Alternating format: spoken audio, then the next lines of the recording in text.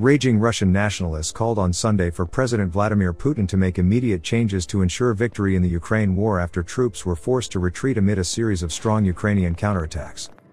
Ukraine's troops on Saturday stormed east out of second city Kharkiv, smashing through Russian lines and liberating huge swathes of territory, including the key strategic city of Izium along with several key transport and logistics hubs supporting Putin's men in the Donbas. The news prompted Chechen leader and Putin ally Ramzan Kadyrov to publish an 11 minute long rant on the Telegram messaging app, declaring that changes must be made to turn the tide of the war. If today or tomorrow changes are not made in the conduct of the special military operation, I will be forced to go to the country's leadership to explain to them the situation on the ground, Kadyrov exclaimed. Putin, who is Russia's supreme commander in chief of the armed forces, and defense minister Sergei Shoigu are yet to publicly comment on the defeat. Kremlin spokesman Dmitry Peskov meanwhile declined to answer directly when asked by a reporter on Monday whether the Russian president had confidence in his military leadership. The military operation continues, Peskov insisted, avoiding the question. And it will continue until the goals that were originally set are achieved. The widespread retreat of Russian troops from the Kharkiv region and Izium came on Moscow Day, a holiday which marks the founding of the Russian capital in 1147.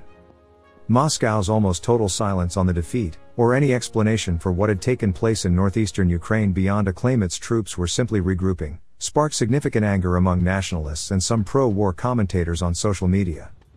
Igor Girkin, a nationalist militant and former FSB officer who was involved in the orchestration of the Russian backed war in eastern Ukraine in 2014, compared the collapse of one of the conflict's principal front lines to the 1905 Battle of Mukden, a catastrophic defeat in the Russo Japanese War which triggered Russia's 1905 revolution. Girkin, who has been unsparing in his criticisms of the country's top brass, dubbing Defense Minister Shoigu the cardboard marshal, has said repeatedly that Russia will be defeated in Ukraine if it doesn't declare a nationwide mobilization. And Russian MP Sergei Mironov said on Twitter that a firework display in honor of the Moscow Day holiday should be cancelled in view of the military situation. One message reposted on Telegram by the prominent war correspondent Semyon Pegov referred to the celebrations in Moscow as blasphemous and the refusal of Russian authorities to embark on full scale war as schizophrenic. Either Russia will become itself through the birth of a new political elite, or it will cease to exist, it read. On Russian state TV, Boris Nadezhdin, a former State Duma deputy, began searching for a scapegoat on which to blame Russia's failures in Ukraine. The people who convinced President Putin that the special operation would be fast and effective, that we wouldn't strike the civilian population. These people really set all of us up, Nadezhdin said. The president didn't just think, why don't I start a special operation? Someone told him that Ukrainians will surrender, that they will flee and come to Russia. Ukraine meanwhile has hailed its military's rapid advance, which saw thousands of Russian soldiers flee, leaving behind ammunition stockpiles and equipment, as a turning point in the six month old war.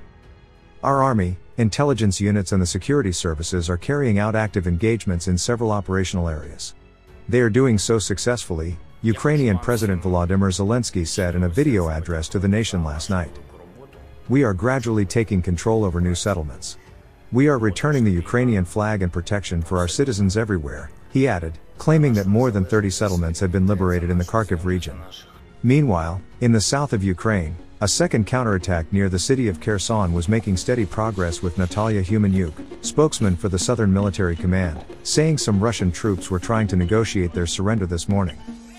Humeniuk said the soldiers are among those stranded on the west bank of the Dnipro River. They have no escape route after Ukraine used US HIMARS missiles to destroy all of the main crossing points.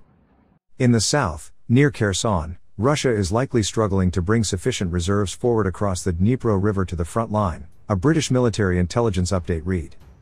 An improvised floating bridge Russia started over two weeks ago remains incomplete. Ukrainian long range artillery is now probably hitting crossings of the Dnipro so frequently that Russia cannot carry out repairs to damaged road bridges. The rapid Ukrainian successes have significant implications for Russia's overall operational design. The already limited trust deployed troops have in Russia's senior military leadership is likely to deteriorate further.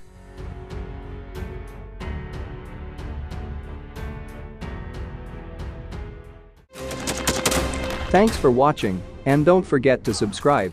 Also, if you want to support Warthog Defense, please become our member and get early access to new videos, exclusive members-only videos, and become administrator in comment section. The membership link is in the description. Every day we had a guy last week at six rescues in six days. You know, he's doing the job every day.